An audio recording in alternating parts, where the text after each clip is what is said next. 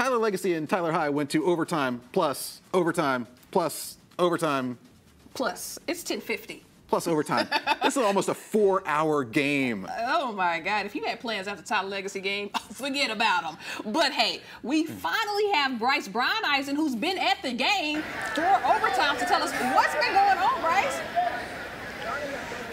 Oh my goodness, Ashley, David, I'm sweating right now. That game was absolutely insane. Uh, okay, so a blocked field goal that would have extended overtime. Uh, first of all, to get to overtime, the Tyler Legacy kicker made a 50-yard field goal to send it to overtime.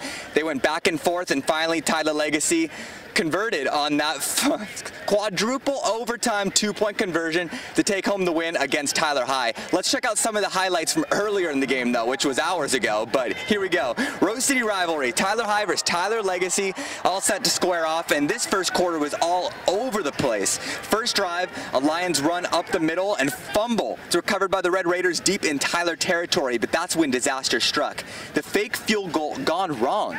Holder tosses one, and it's picked off, and oh my good, he's going to take this one all the way back for the Lions. Touchdown. Jason Wickware, 100 yards to glory for the Lions. But later in the quarter, Tyler punting it away. And this actually happened twice in the quarter. It's muffed by the Red Raiders and recovered by the Lions. The turnover bug just kept biting both of these teams all night long, and the Lions would capitalize there. Jabraylon Williams pass up the middle to Jadavion Lacey, and you could just forget about that touchdown.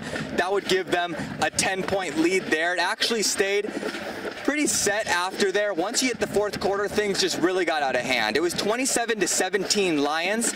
Tyler Legacy tied it up 27 to 27. We hit the overtimes. Nobody scored until that fourth overtime.